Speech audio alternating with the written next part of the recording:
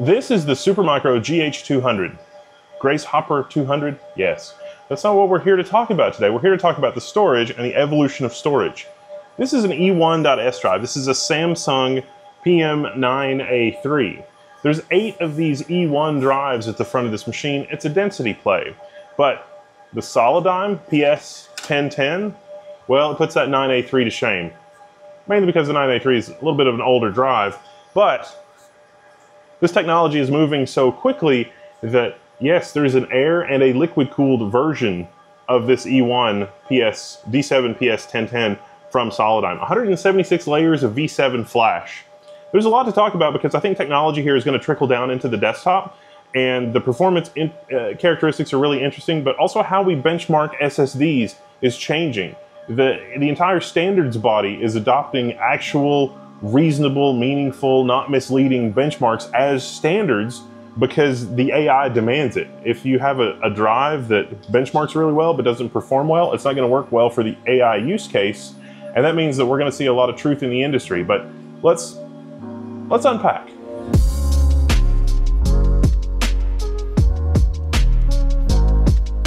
So enterprise flash typically is more of a U.2 form factor, at least right now. Two and a half inch drive, and the two and a half inch drive is a 30 year old plus standard, uh, probably more than 30 years. And this is cool and fun, but this doesn't really fit super conveniently in a 1U rack case. And 1U is where we're going because, again, it's a density play. Everything has liquid cooling. And if everything has liquid cooling, why don't we evolve the storage to have liquid cooling? And that's really a large part of what these PS, the D7 PS 1010 uh, is about from Solidigm because we're evolving from the air-cooled version to the liquid-cooled version. Notice the air-cooled version has a built-in heatsink, the liquid-cooled version does not. We saw these at Supercompute 25 and the little carrier from Solidigm as an example application where the cold plate will grab onto the drive. Now the interesting thing about the cold plate is that you can actually get sufficient cooling even from the short edge. So a cold plate could come down on the, on the, on the short edge and provide enough cooling for these. But I think it's much more interesting what's happening under the hood to drive this kind of density because as the density goes up, the heat production and power budget tend to want to climb as well. And we are working with 176 layer flash. These are available up to 7.68 terabytes today. They're launching kind of today, although, you know, the enterprise scale GH200s, an important part of the architecture changes here that I think are going to tr trickle down to desktop users that are going to be useful is deliberate architectural changes to reduce latency. And one of the key reasons for that is because even though, yes, I mean, this, this is only eight bays for storage, you're gonna need separate storage connected to your storage network in the giant AI factory of the future. But storage that's on this is also available across the whole fabric. Yeah, this thing's gonna be connected at you know 800 gigabit, 1.6 terabit, depending on the generation of you know module in your AI factory. And data on this may be needed by another GPU in an entirely other system. And so the latency for how quickly this responds matters a lot. And so that shows through in the benchmarks and how the drive performs and how it works and that sort of thing. Now the PS1010, the model itself, is not really a new model from Solidigm, but it's the form factor and the cooling and everything else that goes into it. Let's let's let's go to the desk and talk about the performance and characteristics and how it stacks up in the modern enterprise SSD landscape.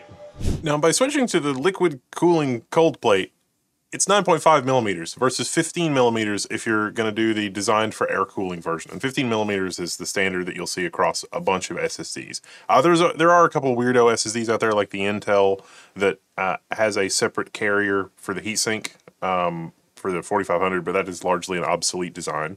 These are PCIe Gen 5 SSDs. And in testing, I was a little surprised because, you know, we, we tested the PS 1010 last year in the E3 format as opposed to the E3, e, E1 format that we have here. And things have improved since then. I mean, we're able to do 3.3 million IOPS. I was getting about 3.15 million IOPS on the E3 version of the 1010 or the U.2 version of the 1010, but the E1 version is actually a little bit faster, and that seems to be related to uh, firmware updates and everything else. This is 4K random, and that's to 256, 4K random write, at Q depth 256 is up to 400,000 uh, IOPS, and our 128K sequential read uh, is 14,500, which is just a hair faster than the, the PS 1010. And that is very near the PCIe Gen 5 limitation. So it's very nice to see that the drive will keep up. Now, this is not re really a, review. Like, I tested this and I'm doing some AI crazy stuff behind the scenes. Nobody wants to hear about that. The SSD performed really well. It performed two specifications. The PS1010 is not really super new, but it is a new form factor and it is really exciting what Solidigm is doing. But allow me to introduce you to SNIA, SNIA, SNIA. It is the standards organization.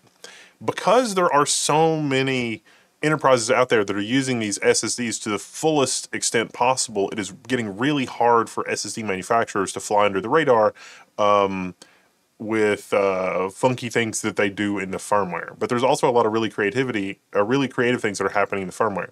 Now, uh, at the same time, the march of technology means the controllers, that the computers that are living on these SSDs are evolving and that gives you a lot more horsepower. And with a lot more horsepower, maybe there's a temptation to do things in the firmware that you know you play games with the benchmarks. Enter SP Random, a fast method to reduce random preconditioning time of SSDs from days to hours. SP Random. This is something you should look for in in reviews of SSDs because it has to do with preconditioning the actual flash media. Our Solidigm drives here, 176 layers, bleeding edge, it's awesome. When this media is brand new, it has absurdly low latency, and absurdly fast response time. Even if you've written to it one time, the time that it takes to read back what you've written to it is uh, measurably lower than what it is after the cell gets, you know, three or four or five cycles on it. And you can't write to the disk from beginning to end and then rewrite to the disk from beginning to end because the controller on the SSD is so smart that it is looking at what is changing on disk and how it's changing and the cell that you write to the second time is not necessarily physically the same cell as the first time. So SP Random, a fast method to reduce the random preconditioning of drive of SSDs from days to hours. There's this is an amazing presentation. That is what this is that I'm talking about. This is what you can watch to learn more about it or read about to learn more about it. But more importantly, this is from what has become basically the standards committee for SSD testing and, and how this evolves.